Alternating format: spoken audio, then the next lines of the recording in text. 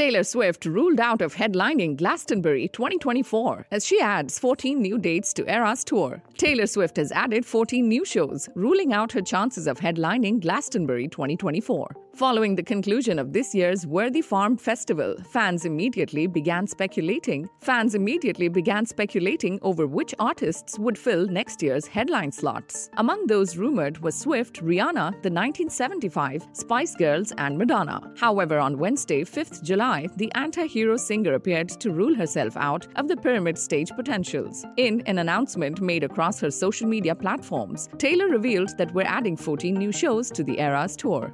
Subscribe to our channel for the latest on your favorite celebrities. Like, comment, and share, and don't forget to press the bell icon for notifications.